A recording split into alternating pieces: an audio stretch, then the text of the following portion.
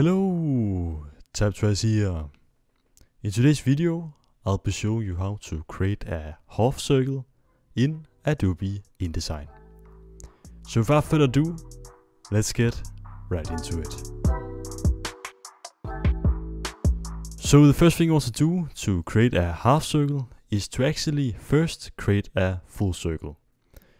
The way we do that is by going over to the toolbar in the left side of the screen and you want to find the ellipse tool. Normally this is set to the rectangle tool so you actually want to right click on this to choose the ellipse tool. You can also use the keyboard shortcut L to select it.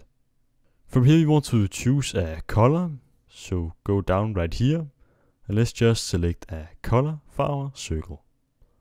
I'll just be choosing this blue color right here and let's say OK. We're now actually ready to create the circle.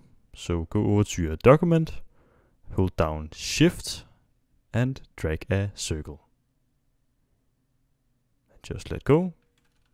And just like that, we now have a blue circle. So we only want a half circle, so now we actually want to split it.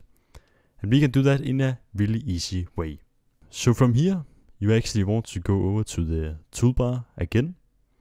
And now we want to use the scissors tool. You can also use the keyboard shortcut C to select that. So when that's selected, we want to go over to our circle again. Let's just zoom in so we can see it a bit better. And from here we actually just want to click where we want the circle to split. Let's just click right here and you can see the cursor is now changing just like this. And let's just go down right here and click again.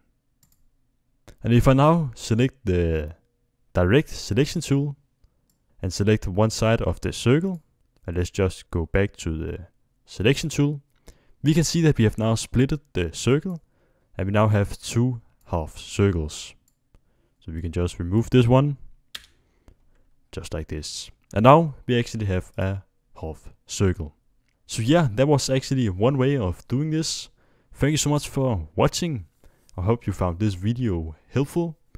Don't forget to subscribe and like the video. That was all for now. See you in the next one.